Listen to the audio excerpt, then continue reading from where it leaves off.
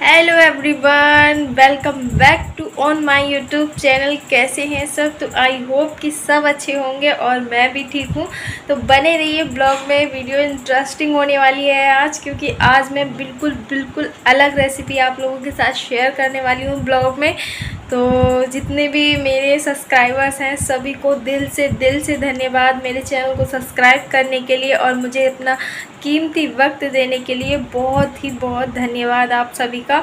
तो please blog को पूरा देखिए और एंड तक देखिए और प्लीज़ ब्लॉग को लाइक ज़रूर करना और वीडियो अच्छी लगे तो मुझे कमेंट सेक्शन में ज़रूर बताना। तो मैं अभी जा रही हूँ पूजा करने के लिए और आज ध्रुव के पापा भी घर पर ही हैं। तो आज मैं कुछ स्पेशल नाश्ते में बनाने वाली हूँ और स्पेशल क्या है, सभी लोग बना के खाते होंगे।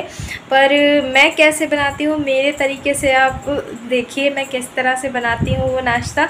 तो प्लीज़ आप भी अपने बच्चों को खिला सकते हैं। बहुत ही हेल्दी होता है, बहुत ही टेस्टी होता है। आप खाइए, बच्चे खाएँ, बड़े खाएँ, बुज़ुर्ग खाएँ, सभी के लिए बहुत टेस्टी होता है। तो आज हमारे यहाँ हो रही है बारिश और मौसम बहुत ही अच्छा है।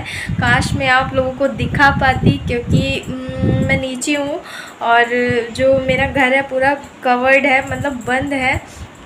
छत पे जाऊँगी फ़ोन लेके तो फ़ोन भीग जाएगा तो हो सकता है दिखा सकती हूँ। अगर कोशिश करूँगी पूरी दिखाने की। तो प्लीज़ गाइज़ बने रहिए ब्लॉग में। वीडियो अच्छी लगे तो लाइक करना और चलिए चलती हूँ। अभी जा रही हूँ पूजा करने, यानी भगवान जी को भोग लगाने। उसके बाद में जाऊँगी अपने सुपर किचन में।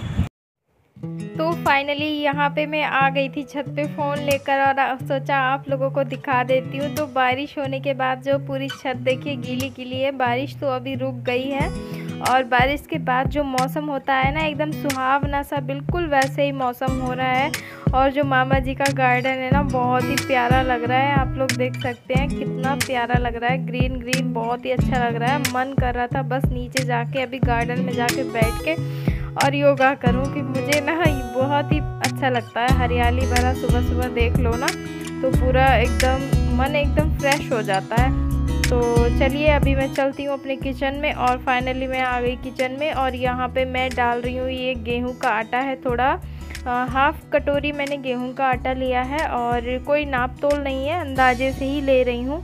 बराबर बराबर मैंने सब चीज़ ली है और ये बेसन डाला है हाफ़ कटोरी। और ये थोड़ी सी डाली है मैंने सूजी। तो सूजी ज़्यादा नहीं डाली है, थोड़ी ही डाली है और ये यहाँ पे ऑनियन घिस के रखी हुई है मैंने थोड़ी सी। और ये देखिए मैंने ना इसको जो तीनों चीज़ें थी, उनको मैंने अच्छे से फेंट लिया है, इसको घोल बना लिया है।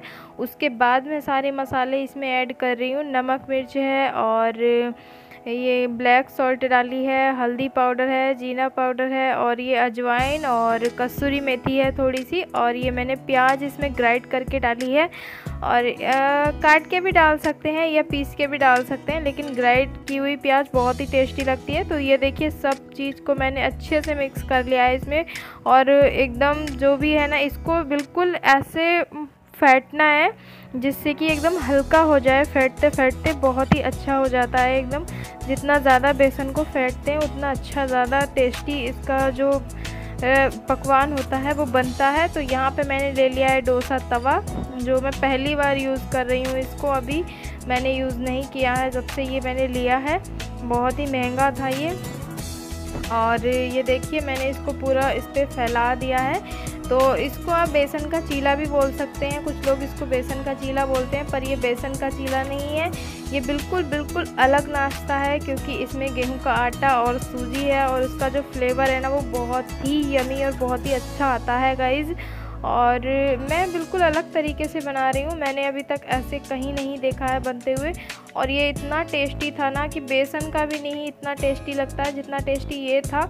क्योंकि अभी गर्मियाँ हैं तो बेसन उतना हेल्दी नहीं होता है बच्चों के लिए तो इसलिए मैंने थोड़ा गेहूँ का आटा और इसमें सूजी भी डाली है और बहुत ही टेस्टी बना था, एकदम करारा करारा सॉफ्ट सॉफ्ट और इसको आप चटनी के साथ और दही के साथ या सॉस के साथ भी खा सकते हैं तो बस इसको ऐसे ही पलट पलट के और इस पर ना ऑयल भी मत लगाओ आप। और बिना ऑयल के भी ये पक जाता है, देखिए कितना अच्छा एकदम करारा हो गया है बैक साइड से।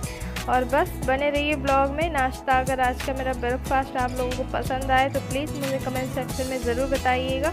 तो बहुत ही अच्छा चीला बना था, देख सकते हैं। इसको चीला ही बोलेंगे वैसे तो। तो ये देखिए ये देखिए गाइस कितना अच्छा और एकदम यमी और इतना अच्छा टेस्ट था ना। बाबू ने तो पहला वाला खा लिया। और हाफ़ मैंने खाया, हाफ़ उसने खाया और ये देखिए कितना सॉफ्ट है और टूट भी नहीं रहा है। और इसको बच्चे बहुत ही शौक से खाते हैं, फिर खूब पानी पीते हैं खाने के बाद। और बहुत ही हेल्दी नाश्ता होता है ये, बच्चों के लिए तो बहुत ही हेल्दी होता है। और ये यहाँ पे चाय बन चुकी है मेरी। तो आ जाइए किस किस को बेसन का चीला पसंद है और मुझे तो बहुत पसंद है। तो यहाँ पे चटनी सॉस वगैरह तो कुछ थी नहीं तो हम लोगों ने चाय के साथ ही ले लिया। बहुत ही टेस्टी लगा ये खाने में।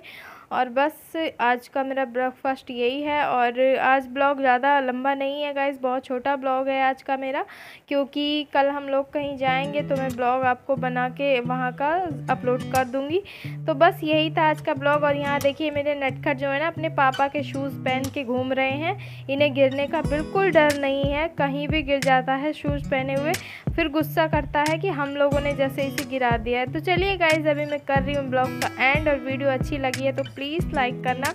और आज का मेरा बेसन का चीला आप लोगों को कैसा लगा तो ज़रूर बनाकर खाइएगा, बहुत ही टेस्टी लगता है और बच्चों को ज़रूर खिलाइएगा। और लंबे समय तक भी चल जाता है ये, और बस यही था आज का मेरा ब्लॉग। और अपना कीमती वक्त देने के लिए बहुत बहुत थैंक्स आप सभी का। और ब्लॉग को पूरा वॉच करिए। तो thanks for watching my video. मिलती हूँ नेक्स्ट ब्लॉग में एक अच्छे से टॉपिक के साथ। खुश रहिए, मस्त रहिए। Bye bye